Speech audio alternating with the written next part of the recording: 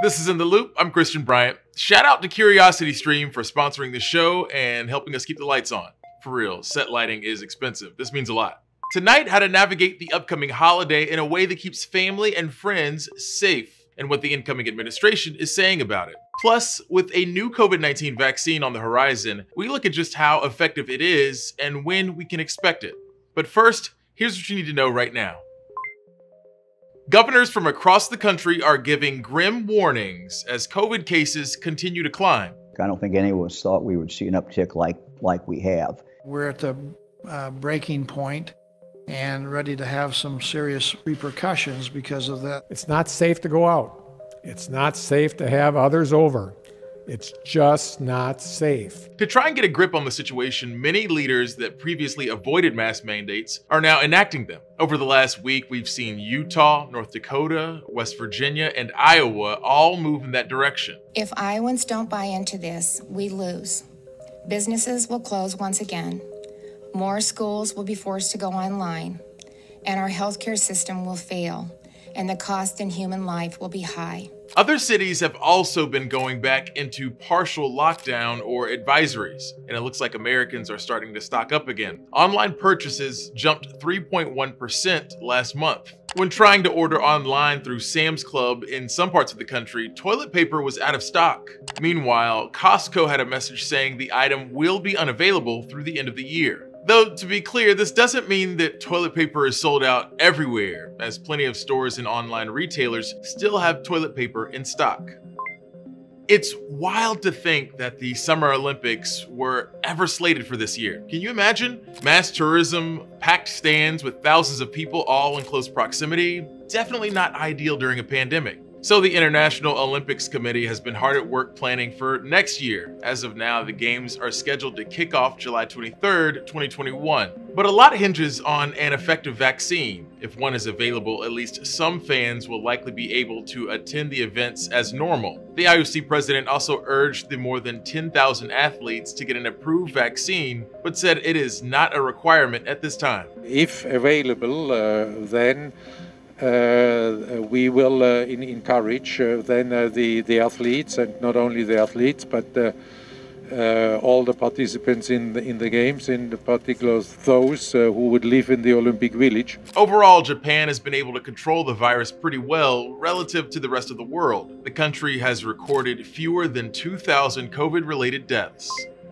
President-elect Joe Biden revealed a few picks for senior White House roles today, even as parts of the transition remain stalled by the current administration. Representative Cedric Richmond of Louisiana will oversee public outreach in the White House. Jennifer O'Malley Dillon, who managed the Biden presidential campaign, will be the deputy chief of staff. Steve Ricchetti, a trusted confidant of Biden's who also worked with Barack Obama and Bill Clinton, will serve as a counselor to the president. White House staff positions don't require Senate confirmation unlike Biden's cabinet secretaries, which are expected to be named in a few weeks.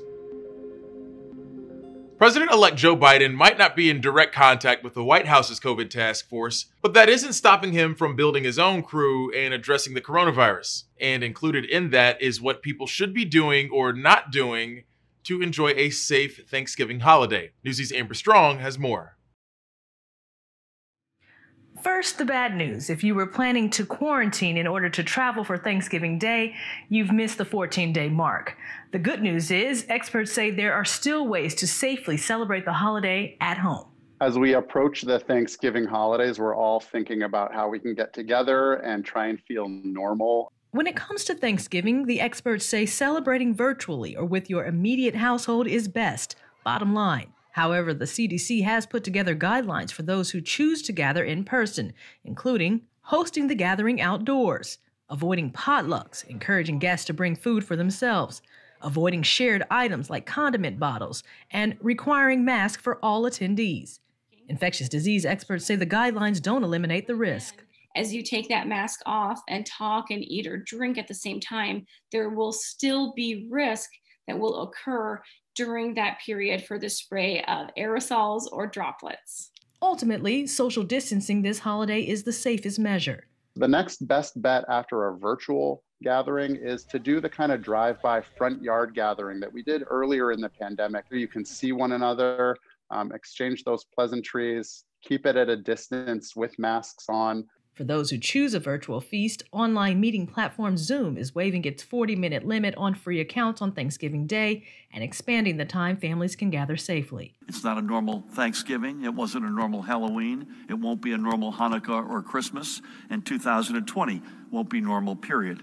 Across the country, COVID 19 hospitalizations are on the rise. Local officials in Michigan, California, Iowa, Pennsylvania, and New Jersey are among the list of states with newly implemented restrictions on the number of people allowed to gather indoors. President elect Joe Biden is encouraging people to follow the guidelines of small gatherings and masks. I just want to make sure that uh, we're able to be together uh, next Thanksgiving.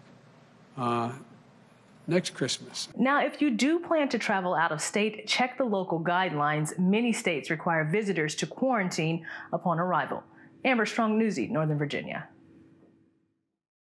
Twitter looks like it's just starting to take all of your social media accounts and just rolling them all into one.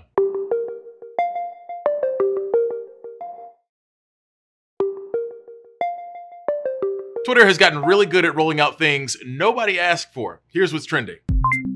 In their latest edition of Try This Instead, Twitter announced Fleets, a feature that lets you post messages, pictures, or videos that disappear after 24 hours. The company said in a release, We're launching Fleets so everyone can easily join the conversation in a new way with their fleeting thoughts. The response was warm, as in people started roasting the company for rolling out their version of Instagram stories, which was IG's version of Snapchat. The jokes are endless, but really there's a larger goal here for Twitter. The company has been making moves to evolve beyond 280 character tweets as a way to remove the pressure of jumping into social media and having everything you share be permanent. If that's the case, maybe I do have a political future after all. Okay, so having to smell your own funky breath in your mask is one of the most 2020 problems you could have, right? So how do we fix that and kill coronavirus? Mouthwash possibly has you covered for both and it can do it fast. Preliminary research from Cardiff University found that mouthwashes with 0.07% of a little ingredient called cetylpyridinium chloride, or CPC, show promising signs of reducing coronavirus in your saliva in as little as 30 seconds. And to be clear, it doesn't have to be Listerine. They ain't paying us, so. But before you get too excited, there's still more research that needs to be done. We should know more about mouthwash and coronavirus once clinical trials are completed in early 2021. We'll go ahead and add mouthwash to the list of things I won't be able to find in the store once we go back on lockdown. This is pretty heavy, but FBI data on hate crime killings is trending because it's record breaking in the worst way. The US saw a record high 51 hate crime killings in 2019. This is the highest number of killings since the FBI started keeping tabs in the early 1990s. One of the major incidents making up these numbers is the August 2019 shooting at an El Paso Walmart, where the shooter targeted Latinx folks. The 2019 data proves how big of a role mass shootings have played in hate motivated killings in the past two years. But also in 2019, there was a significant increase in anti Semitic hate crimes, which rose 14% from 2018. We should note that violent crime overall has decreased since the 90s, but the rise of hate crime killings is pretty startling, and this comes as fewer police departments actually reported this data. So just imagine what we'd see if we got a more complete picture of hate crimes in the US. Even though the US is seeing a surge in COVID cases, we are inching closer to a deliverable vaccine. Early data from Moderna shows their vaccine is well above the 70 to 75% effectiveness Dr. Fauci previously told reporters he'd feel good about when it came to a vaccine. Newsy's Lindsay Thies says the news is welcome, but doctors are still cautiously optimistic. More promising news in the COVID vaccine race. Early findings show Moderna's experimental vaccine has worked in nearly 95% of patients. This vaccine candidate uses a new gene technology called messenger RNA. When injected, the RNA enters healthy cells where it makes coronavirus spike proteins, and that prompts an immune response. Patients get two shots, an initial vaccine and a booster a few weeks later. These early findings show that of the 30,000 clinical trial vaccine volunteers, only 95 people have gotten COVID symptoms so far, and 90 of them had the placebo. Given the rate at which we're acquiring cases, we do expect that we'll have probably 150 or 151 cases at the final analysis. We're getting these results so quickly because there are more cases as the coronavirus spreads rapidly in the US. It's good for scientific research, but troubling for those at risk of getting severely ill. In about a week, there have been a million new cases, and ICU beds and staff to care for the sick patients are running very thin. We are increasing our number of beds that we have available for COVID patients really on a day to day basis. The number of patients in our ICU setting has uh, quadrupled to say the least. We're tired of seeing the fear on the faces. We're tired of seeing people who were passing away. The country's leading infectious disease expert, Dr. Anthony Fauci, recommends people not abandon all public health measures, even after a vaccine is available. Even though for the general population, it might be 90 to 95% effective. You don't necessarily know for you how effective it is. Researchers and regulators must wait for more complete safety data from the Moderna study. That's expected later in November. Moderna then plans to ask the FDA for emergency vaccine approval in early December. Manufacturing, the drug maker's president says, will be a 24 7 operation. We hope to have about 20 million doses of the vaccine by the end of this year, by the end of the calendar year. Uh, and we're looking forward to making about 500 million to a billion doses next year. There is one big hurdle getting people to take an approved COVID vaccine. Surveys show about half of Americans aren't sure they want to yet. Fauci says vaccination should begin in December, with widespread vaccination around the second quarter of 2021. Lindsay Thies, Newsy, Denver. Here's a fun one. If you could do your same job but somewhere else, where would that be?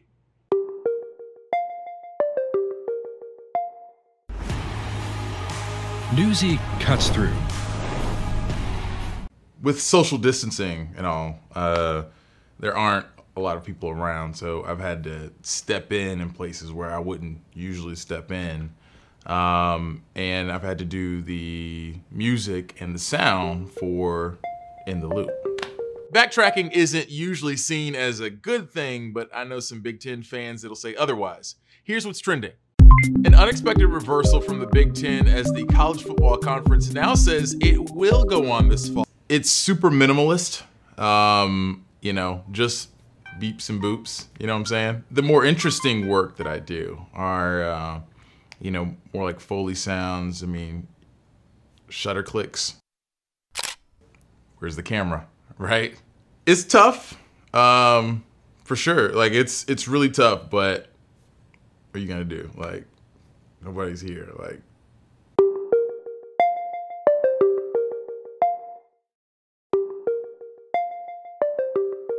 A lot of people have found themselves working from places that aren't their offices this year. Honestly, I've been trying to find a way to film this show from the beach, but it just ain't working out like that. Plenty of folks have enjoyed that flexibility during an unenjoyable year, but working from a state where you don't reside can have a financial consequence. Newsy's Kat Sandoval explains.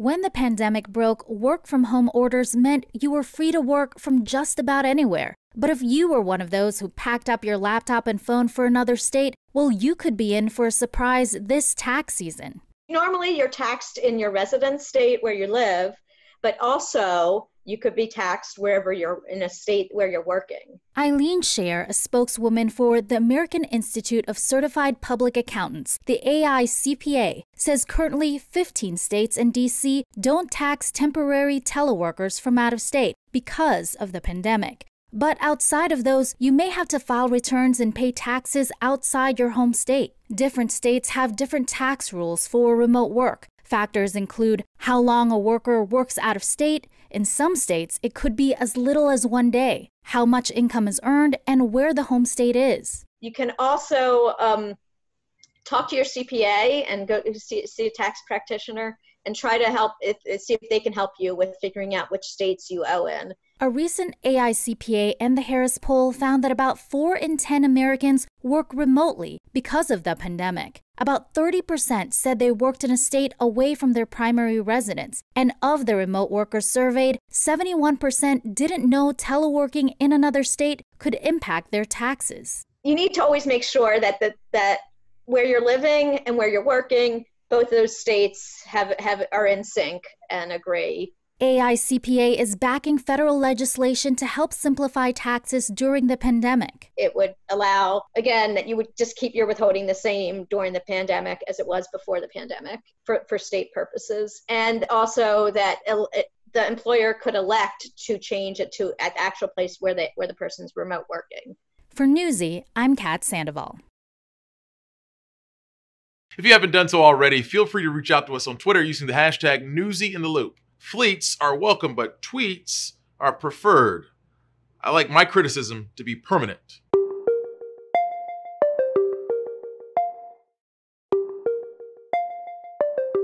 As we get closer to the holidays, airlines are seeing an uptick in bookings. To try and keep travelers safe, some airports are adding in COVID 19 tests. That's in addition to those TSA pat downs. National reporter Stephanie Stone shows us where that's happening. It's no secret that the global pandemic has turned the travel and airline industry upside down. Airport Council International North America is known as the voice of airports. I look at airports as cities within cities, and anything that would affect the city would affect an airport. That's what we do. And these days, CEO Kevin Burke says it's COVID. Testing is that key that unlocks uh, travel. Tampa International Airport was the first to jump on board with a program that was the first of its kind in the nation. They offer both the PCR and rapid tests to anyone with proof of travel. We've tested more than 4,100 passengers. Um, so it's uh, it's gained in popularity. Uh, passengers know that we are providing the testing at the airport, and uh, I will tell you, before they open up at 7:30 every morning, there's 20 plus passengers waiting in line. John Tiliakos is the executive VP of airport operations and says they launched the program in early October in hopes of instilling confidence and encouraging travel. Given the environment we're in with this pandemic, um, we have got to do everything we can as an industry, both in the airline industry, the airport industry. We've got to do everything we can to breathe life back into this industry and get it back up on its feet and running again. Since then, they've fielded calls from other airports inquiring about the program. If a passenger gets a negative test, they go on about their day. But if it's positive, ACINA says it's not the airport's responsibility to escort them out. They've gotten very few passengers that have ha- uh, been tested positive. Uh, but they've had a couple, and they've had to ask them to, you know, they can't proceed past that because TSA is not going to let them through a checkpoint with a positive um, uh, read. While an increase in testing is a good thing, doctors advise this is not a guarantee by any means. This test isn't an insurance policy for the rest of the week or the rest of the month or the rest of your life. It tells you what your status is right now. Dr. Beth Thielen is assistant professor of pediatrics at University of Minnesota Medical School, and she's an infectious disease physician. For example, if you went to a bar the night before you flew and you um, were around, you know, 100 people without masks, you potentially could be infected. But if you take a test at the airport the next day, you may very well test negative, and yet a week down the road, you may in fact um, develop symptoms of COVID and be capable of spreading COVID. But she says this is a start, and it helps people make better decisions about what they're doing and where they're going. ACINA says the testing, masks, social distancing, hand washing, cleaning, all of it together plays an important role in getting people back on board. If our industry is going to survive and thrive when when a vaccine is there and people come back to travel, we have to take the steps now to make people comfortable, not only now, but in the future when they're booking future travel. I'm Stephanie Stone, reporting. Earlier in the pandemic, the FDA gave emergency use authorization for using convalescent plasma, that's plasma from people who have recovered from the coronavirus, to treat COVID 19. But there's an issue there is a looming shortage, and that's cause for alarm for the hundreds of thousands of people who rely on regular plasma infusions to survive. National reporter Usher Qureshi explains how the need for plasma donations is becoming more crucial by the day. My pain levels increase tenfold, maybe even more. Mother, wife, and rare disease advocate Deborah Vick lives with myasthenia gravis, a neuromuscular disorder that disrupts nerve to muscle communication. The messages are no longer being able to reach the muscles to make them work, whether that is to walk or move or swallow or breathe. It's all interconnected. There is no cure, so every two weeks she requires plasma infusions. Being in crisis is the worst time to have to wait for treatment. I know for me, my treatments are every two weeks, and days before my treatment starts, my breathing has become extremely labored. Many types of primary immunodeficiency disorders, like Vick's, result in an inability to produce antibodies to fight off infection. There's about 250,000 of us in the United States alone. So. John Boyle is the president and CEO of the Immune Deficiency Foundation. Canceled drives and fear of COVID exposure, he says, have contributed to a drop in plasma donations for non COVID therapy. This while the Red Cross says hospital distributions of convalescent plasma have increased 250% in November compared to September. To not meet the rising demand is one thing, but to actually have less plasma is uh, is potentially uh, uh, very, very, very problematic. Experts say it takes 7 to 12 months to turn around plasma for patient infusion therapies. We are now nine months into the pandemic, and a crisis, say some, could be around the corner. Yes, there is a growing concern that about the ability to meet patient clinical need. Amy Efantis is the president and CEO of the Plasma Protein Therapeutics Association.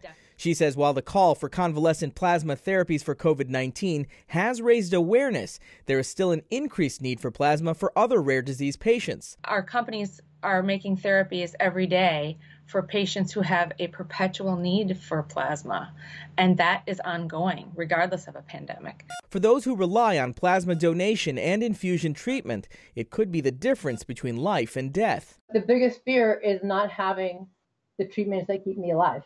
I mean, reality is is I don't know what kind of life I will have, if any. How will I function without my infusions? It's why so many are hoping those who can will give. I'm Usher Qureshi reporting. That's it for us, gang. As always, thanks for watching. We'll be back for more in the loop tomorrow, same time, same place. Top stories from Newsy are headed your way right now.